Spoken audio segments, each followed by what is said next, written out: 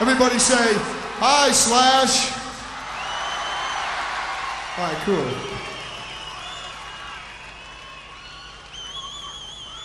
Now we're gonna do a song. Take this one.